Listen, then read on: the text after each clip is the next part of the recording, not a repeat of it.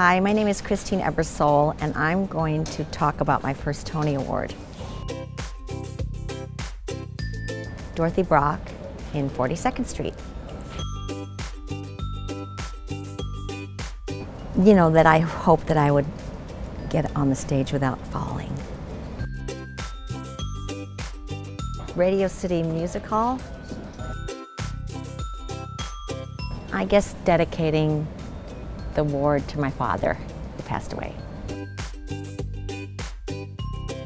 In a cabinet that has glass in the front so you can see, so you can see it.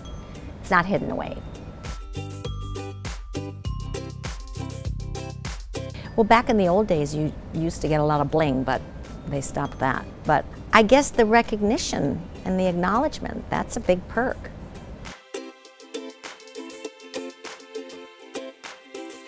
Know that it's already been decided in the universal scheme of things, so just go and have a good time. I think we'd have to go back and look at the tape. I just got out of my seat, kissed my husband, and went up there. I don't, it wasn't like, oh, it wasn't anything like that.